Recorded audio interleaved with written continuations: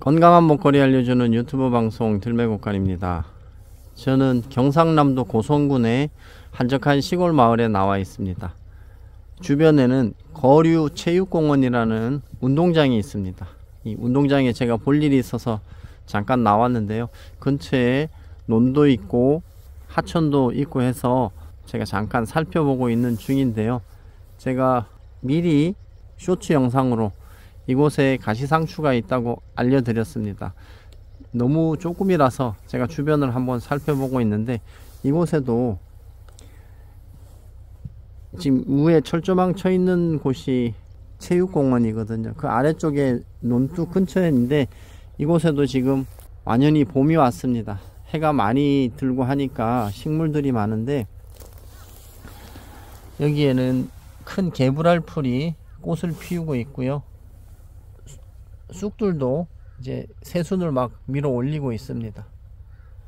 여기 제가 며칠 전에 소개해 드렸던 큰 망초 이걸 가지고 잡채에 넣어 드셔 보신 분이 계실지 모르겠습니다.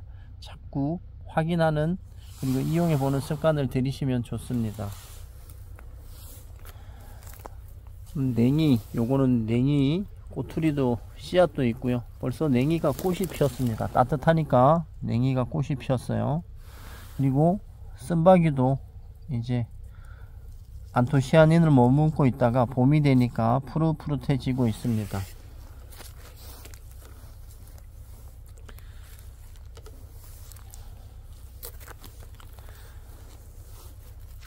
쓴바귀가 많네요 논두개.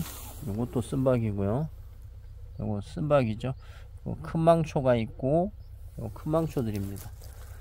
요거는 망초고요 우리가 벌금다지 나락나물이라고도 부르는 어, 벼룩나물이 또 이제 막 새순을 올리기 시작하고 꽃이 핀 것도 있습니다 여기. 꼬리뱅이도 있습니다. 꼬리뱅이가 납작 엎드려서 붉은 빛을 띠고 있는데 이것도 꼬들빼기 대용으로 김치 담아 드셔도 되고 된장국에 넣으셔도 되고 굉장히 맛있는 나물 중에 하나고 효능이 있는 약용식물이기도 합니다. 예전에는 이걸로 떡도 해 먹었다는데 떡쑥입니다. 떡쑥. 근데 너무 자라서 어, 너무 잘죠. 다 이용하던 나물입니다. 지친 개도 있고요. 드디어 보이기 시작합니다. 저기 보시면 그 가로등 있죠. 가로등 그 아래쪽에 가시상추가 있었거든요. 근데 밑에 쪽에 있을 줄 알고 내려왔는데 여기서부터 있습니다. 가시상추 이거는 채취해서 먹어도 될 만큼 아주 튼실한 개체입니다. 자, 쭉쭉쭉쭉 가보겠습니다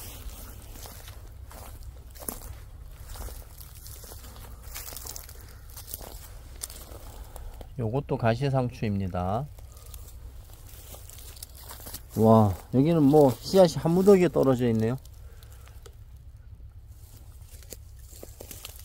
가시상추 특징을 얘기하자면 가시상추는 뒤쪽에 이 뒤쪽에 여기 맥 있잖아요. 중앙 맥에 가시가 있어야 되는데 지금은 가시가 없습니다. 납작 엎드려 있을 때는 지금은 가시가 없고 굉장히 연하고 부들거립니다. 그럼 가시 왜 가시상추라고 했느냐? 꽃을 피우기 위해서 줄기를 딱 세우면 그때서부터 잎에 가시가 보입니다. 엄청 억센 가시가 보이니까요. 지금은 가시 염려 안 하셔도 됩니다. 와, 한 포기가 한 접시 나올 만큼 엄청 큰 가시상추들이 제법 있습니다. 요것도 숨어 있지만 가시상추입니다. 가시상추고 이 위에도 가시상추고 이쪽 분들 나이 드신 분들은 이 가시상추가 뭔지 몰라요.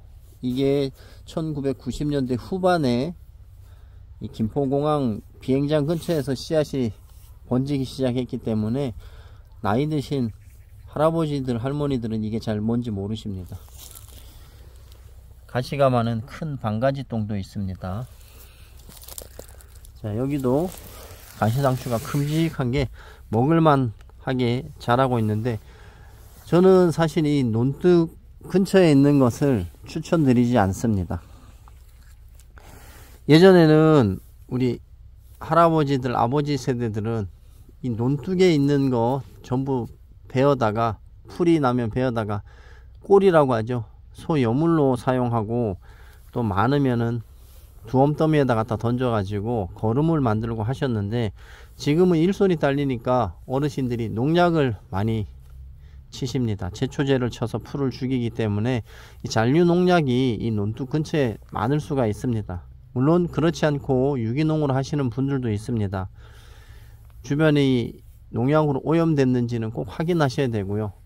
또 어떤 분들은 이런 말씀 하세요. 요즘 농약은 인체에 독성이 많지 않기 때문에 그냥 드셔도 된다고 하시는데 건강하신 분들이 이거 뭐 한두 번 드셨다고 뭐 죽거나 탈이 나거나 하지 않습니다. 하지만 기저질환이 있거나 뭐 간이나 신장이 안 좋으신 분들 나이 드신 분들은 한두 번이 아니고 계속 드시다 보면 이 축적되면 건강을 해칠 수가 있거든요. 그런 거는 그런 걸 염려하는 거기 때문에 가급적이면 논둑 근처에 있는 것들은 섭취하는 걸 주의하셔야 된다고 말씀드립니다. 그리고 이런 거는 2년 초이기 때문에 잘 봐 놓으셨다가 그런 것이 농약 음, 오염이 걱정되시는 분들은 내 텃밭으로 옮기세요.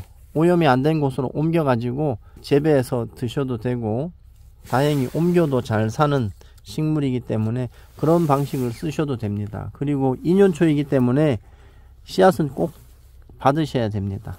그런 방법을 통해서 건강한 먹거리들을 하나씩 하나씩 찾고 즐기시면 됩니다. 자, 우리는 이런 것을 사람이니까 지혜롭게 찾아서 잘 이용하시면 좋겠습니다. 뭐 어떤 게 맞다 그런 걸 주장하는 게 아니고 가급적이면 조심하라는 의미에서 드리는 거니까요. 이 모든 대한민국의 모든 논이 뭐 농약을 많이 친다 이렇게 이야기하는 것은 아닙니다.